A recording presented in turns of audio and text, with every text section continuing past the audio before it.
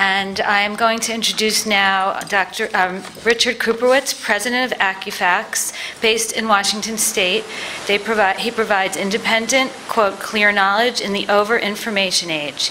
He brings over 40 years' experience in the energy industry, offering special focus on appropriate hydrocarbon-based energy infrastructure design and operation in areas of unique population density or of an environmentally sensitive nature. He is a certified experienced process hazard and operability analysis team leader, skilled in process safety management, as well as a veteran emergency response leader on hydrocarbon releases. He has represented numerous parties concerning sensitive energy matters. The vast majority of these clients are public citizens or representatives of local city, county, state, or federal governmental agencies, or organizations that need highly specialized expertise regarding critical energy system matters. He's currently serving as a representative of the, of the public on the federal level on the Technical Hazardous Liquid Pipeline Safety Standards Committee. Thank you, Rick, for joining us from Washington State. Thank you. Good evening.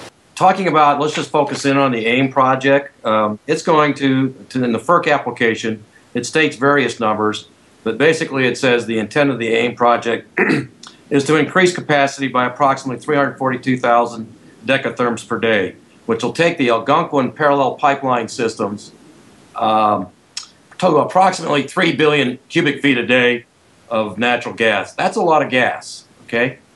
Um, and uh, so you, you, you have to ask fair questions about the safety application. The AIM project, obviously, as many of you may already understand, is going to move gas from west to east. Uh, it's going to make modifications to five compressor stations that exist already. However, it is adding an additional 72,000 horsepower. That's a rather high number for such a small increase uh, in the stated capacity of the system. Uh, now, it doesn't mean they don't, they don't need this, this horsepower, but what it, it suggests to me is that at 3 billion cubic feet a day, they're starting to run into some serious bottlenecks on the Algonquin pipeline system. And so they're reaching the laws of diminishing return here. There are other changes regarding metering and regulation, regulator stations. But basically, the major issue on the map there is they're going to be replacing 26 inch in certain miles with 42 inch, and a 42 inch commands much respect. I'm not here to instill fear in anybody. It just says if you know what you're doing, you can operate a 42 inch quite safely, but you've got to respect it. And you've got to really stay ahead of the curve. Because if it were to rupture, it has a very large impact area.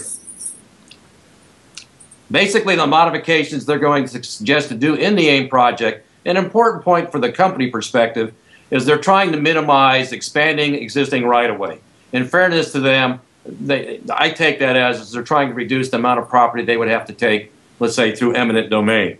By reducing it doesn't mean that they won't have to do that, take eminent domain, but there is some consciousness here in fairness to the company. The project appears to be driven by the Tennessee Gas Pipeline and the Millennium Pipeline expansions that have been recently either completed or announced. And basically, what they're moving is Marcellus gas, shale gas eastward, uh, and largely uh, at this level of uh, increase, um, you're seeing that that's driven by mainly the demand for electrical power plant or cogeneration electric generation with some uh, distribution uh, or some consumers shift, sh shifting gas or shifting from heating oil to natural gas. But the lion's share of the gas demand is probably going to be for electric power generation. Let me make a quick observation very quickly on the FERC process. It's important that folks understand that FERC is a siting agency. That's their primary jurisdiction regarding natural gas pipelines. They are not a pipeline safety agency. A lot of people get confused with this and so they spent a lot of time and effort making pipeline safety comments when basically FERC's going to say, look, we're not, that's not our jurisdiction. Another group, the, the uh, what they call PHMSA, the federal agency responsible for establishing minimum pipeline safety regulations, that's their ju jurisdiction. And FERC will tend to dismiss pipeline safety concerns by saying, if they comply with minimum federal pipeline safety regulations, that's good enough. However, FERC can deal with certain issues related to public safety, which goes beyond pipeline safety. They can impose additional safety measures related to where they site a particular pipeline, you know, how far it is from certain critical infrastructure, various route, route, route uh, pipeline route alternatives, and, and more importantly, they can require that they comply with certain environmental conditions. So that's, you know, if you're looking at the expansion of the project, one of the major hooks that FERC will listen to, if you have environmental concerns, need to be very clear about that because that's one of the, that is one of their charters. FERC makes decisions of public convenience and necessity in improving natural gas pipelines. What I can tell you from what the FERC application for the AIM project is saying is the increased capacity is, is fully subscribed. That means to FERC, that's a very important hurdle. That means this gas has a consumer. Now, again, the bulk of it may be electric power generators, but that's a, a, a hurdle that FERC will check off. Though also, while there may be environmental issues, uh, in fairness, in my years of uh, listening to FERC go back and forth, uh, while there may be specific isolated environmental issues, some of this will be offset by a big picture approach where, well, you know, we're switching from heating oil to fuel gas. So while you need to be very clear about your environmental concerns, also understand that FERC is looking at a bigger picture here as well. Again, it's very important to understand that the environmental, construction impacts, and routing impacts are they really adequate for this particular project? That is your right, and you need to understand and present your concerns related to those issues to FERC in the application process. Let's talk about some leveraging pipeline uh, modification issues. The bulk of the, if you went back and looked at the map, uh, the bulk of approximately about 37 miles of existing pipeline is going to be modified to get this additional capacity. Uh, the majority of that is moving existing 26 inch pipe and replacing it in the existing right of way with a larger diameter 42 inch to remove a particular bottleneck in that segment of the pipeline Algonquin system. There are some additional loops that are going to be required in some neighboring uh, right-of-ways, uh, though they're, it looks like they're minimizing those from my perspective. And there will be some additional right-of-way for additional laterals that actually takes gas from the transmission system down to uh, the distribution companies, for example, and to some of the power companies. The major issue when you see the way they're making these modifications, the driving factor in these, uh, one of the driving factors in the design of a pipeline is the actual gas velocity. And only the pipeline operator knows those. And you can only receive that information through a CEII, Critical Energy Infrastructure application, and then you can't disclose that information. I'm under certain CEII information disclosure restrictions on other projects, and I will respect those. So, not with the Algonquin system, however. I want to point out uh, while Algonquin has looped parallel lines, and in some cases three parallel lines further down their system, there is no maximum actual gas velocity spelled out in federal pipeline safety regulations. Go figure, all right? So there is a, a gap there in federal. On large diameter gas pipelines, especially, while they can have very large impact uh, areas upon their rupture, which is a big fracture of the pipeline based on certain types of threats to the pipeline. There are no siting restrictions in federal pipeline safety regulations. All right? And so when you start talking about it's too close to my house or whatever, I mean, you have a legitimate concern, but if you take that to FERC, they may, you know, they may look at it, but the reality is there's no law telling them to move this away from your house. So that's just something you need to be warned about. A new 42 inch pipeline that's going to operate at 850 uh, psig for a maximum allowable operating pressure, or MAOP, commands much respect. All right.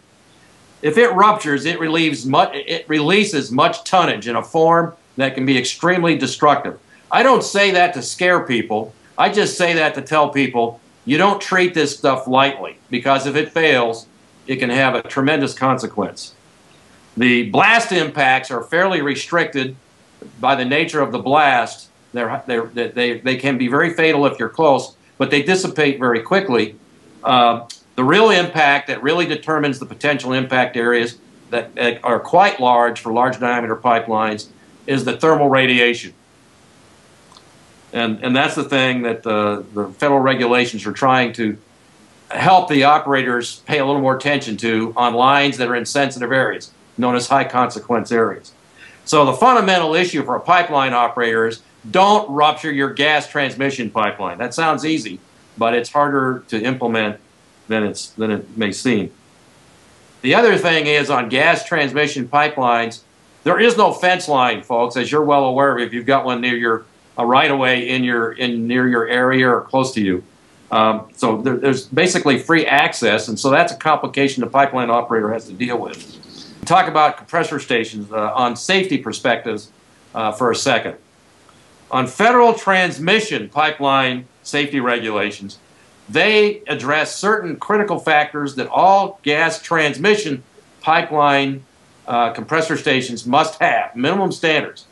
And those standards, while they won't necessarily prevent explosions or fires, substan substantially reduce the amount of tonnage. I don't want to make, make light of an explosion in a compressor station on a transmission line, but it's going to release gas many times less than a gas transmission pipeline rupture. And there are additional safety requirements imposed on that uh, compressor station that the operator has better control. Basically, a gas compressor station is a fenced-in facility. So the operator has, you know, he can restrict access and he can do certain other things. Now, let me be very careful here. There's a difference between a gas transmission pipeline compressor station and a gathering pipeline compressor station. Those uh, gathering pipeline or production facility compressor stations may not fall under federal regulation setting minimum standards. So uh, when Matthew talks about compressor stations, uh, there, there's going to be a distinction here that you want to draw between, you know, there can be very serious environmental issues for both, but the safety issues are, can be uh, significantly different. PHMSA addresses the minimum safety regulations for gas compressor stations, but they do not touch, have no jurisdiction for the environmental, addition, environmental conditions or requirements such and additional issues such as noise or appearance. Okay, so the real issue for FERC is looking at as emissions for compressor stations as an environmental condition. But if you try to say PHMSA, you need to deal with this as a safety agency. Uh, the Federal Pipeline Safety Agency, PHMSA, will not touch that. They know it's not their jurisdiction. Okay, other concerns raised the facts. The issue's been raised about possible conflict with buried, the 1,000 megawatt power line. There are two threats to the gas pipeline from such a nearby transmission pipeline. The science associated with stray current, where the fields generated by the electric power line can actually rip steel off the pipeline, that's addressed in federal regulations, and that science is well established. Uh, and, and so the pipeline operator should be able to demonstrate that they can protect against that.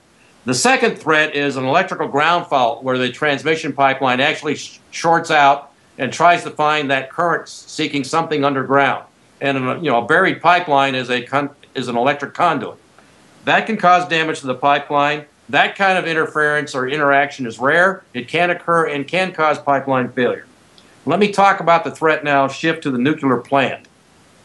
Separation distance is the key to the 42 inch should it, in the likely situation that it would rupture. The laws of thermodynamics define rupture impact area not the federal minimum regulations, all right? From what I've seen of the Indian Point plant, the nuclear facility is survivable should the gas pipeline rupture.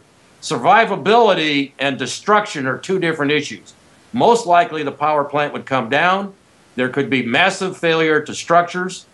I think the issue that's of real concern to people is the fuel rod storage area. Could it survive such a facility? So I can't answer that question but that's an issue that someone might want to ask to be sure FERC sure ensures is covered.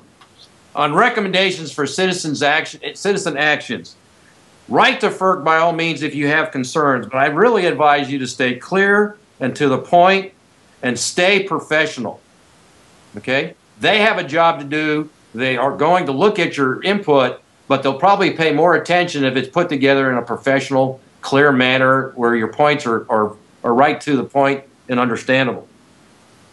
You should require that 42 inch location, that there be su su sufficient distance that cannot seriously impact the nuclear sensitive facilities. Notice I didn't say the nuclear facility. There are certain issues like the fuel rods that are extremely sensitive and you have a, you know, you need to point out, you know, if you think there's certain areas there that need, you know, somebody needs to evaluate to be sure that they're properly evaluated in the likely case of a rupture, and that's a real concern, um, then address that and require, you know, ask for that to be evaluated. I can tell you the thing about distance. A lot of people uh, tend to use this word. Distance is what we call a fail safe. It never fails. It will always work. Now, the problem with moving the 42 inch further away from the plant is you may be imposing on other people. And I know there's other alternatives for crossing the river here. Uh, and you know, you can ask FERC to look at that. Just be sensitive that FERC may have to say, okay, then we're going to have to take some property from somebody else. And that may be appropriate if it's a truly a safety issue regarding the Indian. If you believe there's environmental issues on your mind, be right to the point and ask FERC to be sure that that's adequately and professionally covered. Anyway, I appreciate your time. I've probably gone a few minutes over, I apologize.